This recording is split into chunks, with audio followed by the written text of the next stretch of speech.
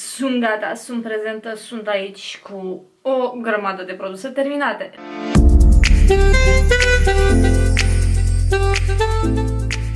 Da, m-am aranjat, uh, m-am asortat cu domnul liliac, care miroase absolut demențial. Deci, dacă ar fi după mine, cred că liliacul ar înflori tot anul.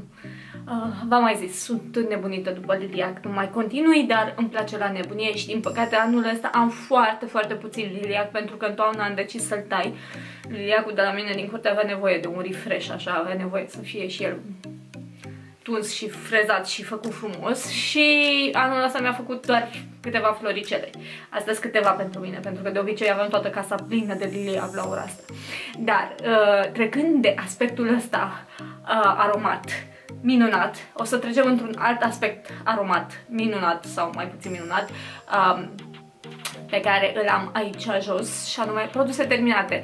Dacă vă amintiți voi, uh, ultima dată când vă vorbeam despre produse terminate, filmasem un clip și am pierdut clipul efectiv pentru că, da, minunile tehnologiei și minunile cu care avem de-a face noi uh, youtuberii care în mod constant avem parte de surprize din astea și am pierdut un clip, era un clip de vreo 40 și ceva de minute editat cu produse terminate. Uh, mare parte din ele le-am aruncat, bineînțeles, după ce am terminat de filmat clipul și normal că n-am mai avut ce să filmez uh, din nou, să refac clipul. Așa că a trecut ceva de la ultimul clip, am un fir de păr care mă gândilă pe aici. A trecut ceva de la ultimul clip postat fizic de mine cu produse terminate și am uh, acum iarăși o serie nouă ce am reușit să termin în ultima perioadă. Uh, nu par ele să fie foarte multe, dar sunt voluminoase și aș vrea să scap de ele și am zis să vi le arăt ca să scăpăm de ele mai repede odată, că am și eu nevoie de spațiu și să fac curățenie, mai ales că acum vine Paștele și e treaba cu curățenia, știți Și având în vedere că lumina joacă feste, o să, încerc, o să încerc să mă mișc destul de rapid pentru că nu știu cât o să mă mai țină, că vine o furtună, aparent. Eu tot trag de primăvara asta și ea nu vrea să vină cu mine. Așa, avem așa, două spumante de baie. Uh, știți deja, cred că v-am zis de 100.000 de ori de până acum și dacă nu v-am zis fizic pe YouTube, dacă n-ați auzit de fapt fizic pe YouTube, sigur ați văzut pe Insta Stories că stau numai în cadă uh, și mi-am terminat baia, finally. Uh, și profit de minunata mea cadă pe care o am și acum fac foarte multe băi cu bule. Prin urmare am terminat odată uh, spumantul ăsta de baie cu liliac, ce să vedeți, obsesia mea, liliacul. Um, de la Avon, care miroase foarte, foarte bine. Și apropo, acum am ocazia să vedem dacă ăsta chiar miroase de liliac sau nu, că acum am mirosul de liliac. E puțin diferit, adică e puțin chimic, dar da, miroase, aduce liliac. Uh, îmi place foarte mult, cu siguranță am să recumpăr, deja i-am zis Denisei să-mi să comande altul când apare în catalog pentru că îmi place, plus că mirosul persistă și a doua, a treia zi în baie după ce l-ai folosit, nu știu, mie îmi place foarte mult mirosul lui și e un miros plăcut, nu e un miros din ăla toxic care să te înnece și de-aia mi-a plăcut foarte tare și cu siguranță am să recumpăr. Am luat și am trecut într-o zi uh, prin Lidl întâmplător și am luat acest spumant de baie minunat uh, la un litru, nu? Un litru are și mi s-a părut mie că ar fi interesant tot în ideea în care stau toată ziua în cadă vorba bine. Um, zic, hai să-mi iau uh, spumantul ăsta de baie. Am înțeles că produsele Sien sunt extraordinare, toată lumea le laudă. Mamă, să vezi ce geniale sunt. Uh, și l-am luat pe ăsta, care miroase cica...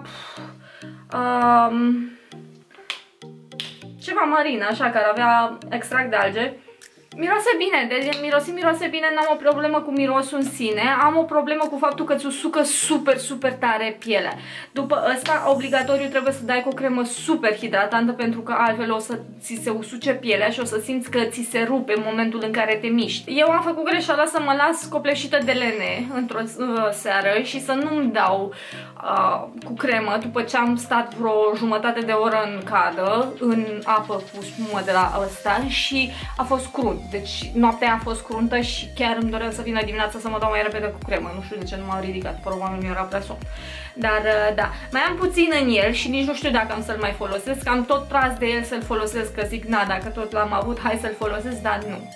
Nu, nu e combinație, adică eu personal pe ăsta nu vi recomand și chiar e groaznic. A, am de fapt două seturi din astea cu șampon și balsam de la Dove Uh, sunt clasicele șampoane și balsamuri pe care le folosesc eu. E același șampon și balsam pe care îl folosesc dintotdeauna de la Dove, ăsta auriu, care mie personal îmi place foarte mult. Mă înțeleg extraordinar de bine cu șamponul și cu balsamul ăsta și da, sunt super grozave, sunt accesibile ca preț și îmi plac super mult, așa că da, zi. Asta le știți deja. Mai am aici o acetonă cu miros de căpșuni, care miroase absolut oribil și e cu ulei, e din aia cu ulei, mare puțin în ea, dar mi-am cumpărat alta, o acetonă normală. Asta am primit-o la kitul ăla de unghii, despre care tot știu că vă așteptați să vă povestesc de vreun an de zile, dar după cum vedeți nu prea mi-am făcut unghiile în ultima vreme, că s-au rupt toate și nu, primi, nu prea le-am făcut. Uh, dar cred că o să vină cândva și ziua aia în care am să vă povestesc despre acel minunat kit de unghii cândva în viața asta și o să vă spun toate părerile mele. Acetona asta în principiu mi s-a părut oribilă din cauza mirosului. Eu detest acetona cu, cu parfum, nu știu de ce, dar mi se pare că miroase absolut hidos și mi se pare că miroase îngrozitor și chiar nu-mi doresc acetonă cu miros. Dar da, ca aceton a fost ok pentru manicura semipermanentă, este ok, depărtează da, nu pot să zic că văd o diferență colosală între asta și una normală pe care aș folosi o tot pe manicură semi-permanentă. E aceeași poveste. A, am terminat o pulveră din asta, pulvere de la ELF a, HD. A, nu știu ce are, că în ultima vreme am senzația că i-au stricat formula pentru că este din ce în ce mai... Uh, uh, mare, are bucăți din ce în ce mai mari în ea, are bucăți de pudră mari în ea și se, se văd pe față, ți se vede destul de făinoasă fața când aplici pudra asta. Nu cred că am să o recumpăr cu toate că eu am avut o relație foarte lungă și foarte strânsă cu pudra asta și cred că e cazul să divorțăm pentru că nu știu, mi se pare că are bucățile alea mult prea mari și este destul de dificil să o aplici în așa fel încât să nu-ți rămână bucățile alea pe față și să le dai jos dacă rămân și e, e, e complicat și e prea multă bătaie de cap pentru mine și prefer să nu, așa că îmi pare rău, ne-am iubit, but no. Mai am aici un uh, gel din asta de curățare pentru față de la Himalaya cu extrat de sâmbură de caiță și aloe vera. Este destinat tenului gras, dar pot să-l folosesc și eu. Este ușor exfoliant, are niște particule exfoliante în el. A, mie personal nu mă exfoliază pielea foarte tare, adică eu nu văd partea exfoliantă ca fiind extrem de dură și de agresivă. Am o prietenă care îl folosește și care are tenul foarte sensibil, foarte uscat și foarte sensibil și mi-a zis că îi place să-l folosesc folosesc o dată pe săptămână, o dată la două săptămâni, pentru că ea vede diferența, eu personal nu văd. Um, dar ca gel de curățare mi-a plăcut teribil de tare, îmi place foarte mult gelul ăsta de curățare, nu sunt foarte multe geluri de, de curățare, de curățare pentru tenul uscat, din păcate, și cele care sunt în afară de ăla de la Nivea, care mie îmi place și vouă, nu, mm, nu prea am văzut uh, ceva care să nu știu, să mă dă pe spate. Și vorbind aici strict de segmentul ăsta de drugstore, nu cel uh, high-end, nu cel de parfumerie, vorbind strict de uh, varianta asta drugstore pentru că în ce mă privește eu cred că gelul de curățare este ok dacă este unul ieftin pentru că nu face decât să-ți îndepărteze machiajul și să-l speli de pe față. Nu e ceva care ar trebui să intre în față. Dacă își face foarte bine treaba spălându-ți fața, curățând, uh, eliminând toate impuritățile de pe față, eu zic că este foarte ok și ăsta își face toată, foarte bine treaba pentru mine. Dacă aveți ten uscat, aveți mare, mare grijă la el. Am un uh, șampon uscat de la Batiste uh, clasicul șampon uscat. Asta este o ediție limitată, dar uh, mie îmi place șampon uscat de la Batiste, îl folosesc ca pe pâine, chiar mai des decât pe pâine, că pâine mănânc destul de rar. Mm, asta are un miros așa, nu știu ce Dumnezeu este, zice... Uh, pink Pineapple. Nu pot să mă zic că mă dau, mă dă pe spate mirosul lui, nu e extraordinar, adică tot la tropical l-aș prefera, dar șamponul este același, este foarte bun, îmi place super, super mult. Mai am aici uh, un deodorant de la Nivea și într-un clip anterior, cred că în ăla cu produse care nu mi-au plăcut, în ăla vă povesteam eu despre uh, deodorante, ce probleme am cu deodorantele în ultima vreme. Ăsta este un deodorant bun, dar având în vedere că este cu foarte mult aluminiu, că este sub formă de spray și are aerosol în el și face gaură în ozon, aș prefera să nu-l folosesc. O să mi-ați lăsat câteva recomandări super bune de deodorant care nu are aluminiu și care este bun, adică protejează și am să mă duc să-l cumpăr cât de curând. Ăsta a fost ok, nu m-am mâncat pielea de la el din fericire, dar nu știu dacă am să recumpăr. Tot legat de păr, am terminat și o versiune din asta mini de Elnet, de spray fixativ de la L'Oreal. Asta le găsiți, elentul găsiți exclusiv pe Notino pentru că în magazine nu se găsește, se găseau într-un timp și variantele mici, am văzut că acum l-au scos, dar se găsește și varianta mare și nu e foarte scumpă.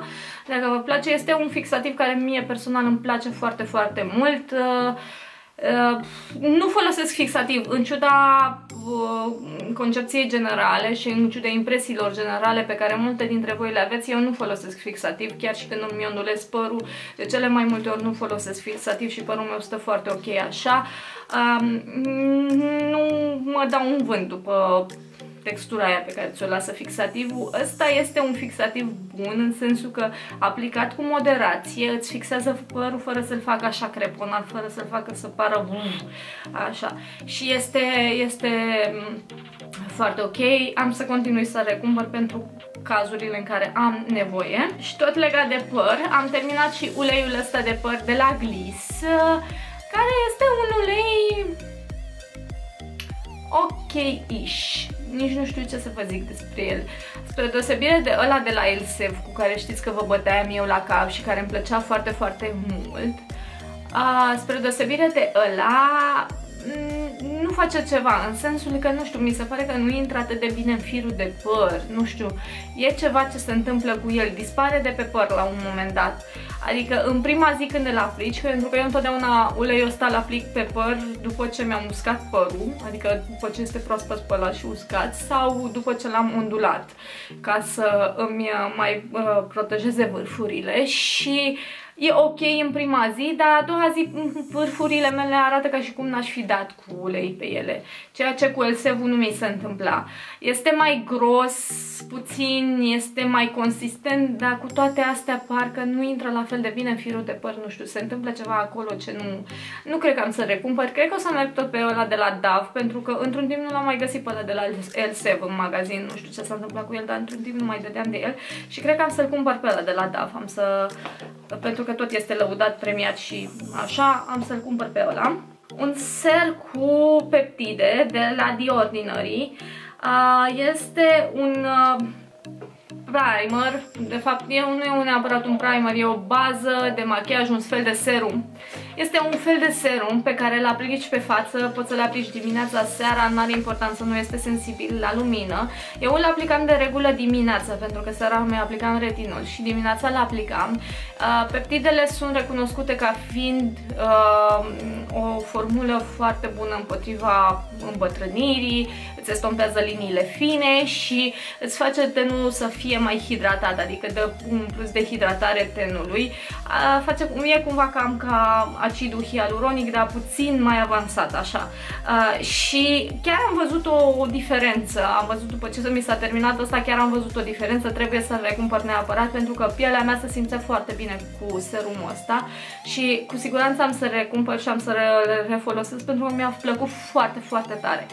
Uh, este de pe The Ordinary, nu știu, a fost undeva în jur de 60 de lei, nu ceva extraordinar de scump. Îl găsiți pe farmacia Tei și nu știu, site-uri din astea care mai comercializează produse The Ordinary sau în farmaciile fizice Tei. Și că tot vorbeam de skincare, am terminat și crema asta pentru ten, crema asta de zi de la Gero Vital. Este cremă iluminatoare și hidratantă de la Gero Vital H3. Mi-a plăcut foarte, foarte mult crema asta. N-aș zice neapărat că este o cremă hidratantă, ci mai degrabă iluminatoare, cum îi zice și numele. Adică îți dă o luminozitate, în special dacă ai tenul uscat sau dacă aveți tenul uscat, știți că tenul vostru are tendința de foarte multe ori să capete un aspect tern, să absoarbă machiajul și să pară așa foarte... Um, nu știu, supărat pe viață. Și crema asta exact asta face, îți dă o luminozitate a tenului foarte frumoasă, foarte naturală, care iese așa prin machiaj și nu mai pare că pielea îți înghite tot machiajul, nu mai pare că pielea efectiv îți absorbe machiajul și arată ca o scoarță de copac, așa. Uh, Mi-a plăcut foarte, foarte tare crema asta și am să o recumpăr, este super bună pentru purtat pe, pe față. Este mai degrabă o bază, aș vedea eu, o bază pentru machiaj decât o cremă normală, pentru că nu este foarte hidratantă. Dacă aveți tenul super uscat, vă recomand să combinați cu o cremă hidratantă, pentru că asta nu e suficient. Adică mie personal nu mi era suficient, trebuia să aplic ceva mai hidratant sub ea și de-abia după aia să vin cu asta să las, ca să arate și machiajul foarte bine și în ciuda faptului că este o cremă iluminatoare, se, machiajul se alășează super bine pe ten. Nu alunecă fondul de ten, nu curge, nu mă trezesc că mi se ia de pe față și din cauza ei este super bun. Și acum știți că cremele de la Gelo Vital H3 mi îmi plac foarte mult și le recomand pentru că sunt super accesibile și super bune, pe lângă faptul că sunt românești. Și mai am un rimel, rimelul de la YSL. L-am uh, terminat. Este un rimel foarte, foarte scump, cu care m-am înțeles super bine. Uh, m-a ținut fix 3 luni. Adică multe dintre voi mi-ați spus că da, se usucă foarte repede. Eu v-am mai spus că recomandabil este ca rimelul să-l folosiți 3 luni și atât. Chiar dacă scrie 6 luni pe el, eu vă recomand să-l folosiți 3 luni, pentru că este un produs foarte vâscos, ținut la întuneric, în care bacteriile se dezvoltă ca la ele acasă, este un mediu propice pentru dezvoltarea lor și nu vreți conjunctivită sau alte boli și iritații pentru de ochi, chiar nu vreți, crede-mă, ții-mă pe cuvânt că nu vreți așa ceva. Și în ciuda faptului că uh, este un, un rimel scump, după 3 luni l-am pensionat. Uh, a costat undeva în jur de 160 de lei, ceea ce mi se pare că este destul de mult pentru un rimel. Este un rimel bun, mi-a plăcut, îți dă volum, îți face genele să pară ca și cum ai avea gene falsă, îți încarcă genele, este minunat. Și totuși parcă nu cred că ar merita 160 de lei. Dacă ar fi fost 120, 130, parcă mai eram de acord. Dar 160 mi se pare deja prea mult, nu știu, chiar și pentru un YSL. Știu că plătim firma, știu că plătim uh, brandul în sine, știu că, na, fiind ceva mai exclusivist, aia este un rimel foarte frumos, dar cu toate astea mi se pare destul de scump. Dar asta este. Uh, am și versiuni mai uh, ieftine, dacă vreți, pentru rimelul ăsta. Ambalajul mi s-a părut absolut de vis, oricum YSL are în general niște ambalaje la machiaj absolut superbe și logo-ul în sine este minunat, îmi place la nebunie. Brandul de make-up în sine este foarte elegant și foarte frumos, foarte chic așa, dar uh, da, rimelul trebuie schimbat la 3 luni, chiar dacă este YSL. Da, și nu știam unde este minunatul uh, uh, șampon. Uitați-l aici că îl pusesem pe masă pentru că tot cădeau din mână, din mână. Și mai am ceva, era să uit să vă arăt. Scrabul ăsta de la Organic Shop. Uh, scrab cu zahăr și cafea, un scrab natural pe care l-am primit de Crăciun de la Eugenia, le-am pus și în favoritele lunii februarie și martie, am făcut un clip cumulat așa cu favorite. A fost absolut extraordinar scrabul ăsta, a fost absolut minunat, îl ador. Uh, mulțumesc mult, Eugenia, că m-ai făcut uh, să am o nouă obsesie. Uh, scraburile astea sunt chiar geniale și cu siguranță am să le recumpăr pentru că sunt absolut mm, divine. Mai am aici o, un ambalaj de la o mască de față, Geomar, o mască din aia tip șervet, uh, cu ceva anti-aging, nu știu, tot pe bază de uh, din asta cum îi zice, acid hialuronic, uh, foarte hidratantă. Mi-a plăcut, mi-a plăcut, mi s-a părut ok și uh, cred că am să o recumpăr. Am încercat și masca asta de la uh, Garnier. Este o mască din asta de ai serul într-o parte, masca într-o parte și abia în momentul în care vrei să folosești masca, strângi chestia asta și se duce serul pe și ți îmbibă masca. Au avut foarte, foarte mult serum, extrem de mult serum, prea mult serum pentru masca asta. N-am înțeles conceptul ăsta, ca să vă fiu sinceră, adică nu înțeleg care e diferența dintre faptul că mui masca cu serum acum și că e deja muiat. Nu înțeleg, eu cred că e tot o șmecherie din asta doar așa ca să-ți atragă atenția. Madagascar în sine a fost hidratantă, nu pot să zic că m-a dat pe spate, dar a fost ok. N-a fost rea, a fost bun. bună, a fost, e ok, e ok de așa zi cu zi, o mască mai uh, era să zic ieftină, dar nu e chiar ieftină, că e vreo 12 lei, mi se pare, o mască din asta. Uh, dar a fost ok, adică de, e o alternativă pentru alte măști mai scumpe care fac același lucru, nu știu. Asta a fost tot așa hidratantă, că v-am zis, eu am o problemă cu hidratarea, că ăsta nu vrea să coopereze cu mine deloc. Um, tot așa cu un pic de acid hialuronic, a fost ok, nu m-am dat pe spate, adică nu am simțit că mama am o altă față când m-am trezit a doua zi dimineața, dar a fost bună masca în sine. Dar nu înțeleg conceptul ăsta, mi se pare o muncă inutilă, da, în fine. Uh, da, cam astea au fost produsele mele pe care terminate, cam asta a fost ce am terminat eu în ultima vreme. Spuneți-mi voi ce produse v-au plăcut, dacă ați încercat produsele astea, cum vi s-au părut. Dați un like și un share la clipul ăsta și nu uitați să vă abonați dacă încă nu ați făcut-o. Vă aștept și pe Instagram pentru că acolo vorbesc mai mult cu voi și uh, vă arăt mai multe din culise, ca să zicem așa, din ce fac eu în mod normal. Cam atât pentru astăzi, vă pup și ne vedem în următorul clip. Ciao!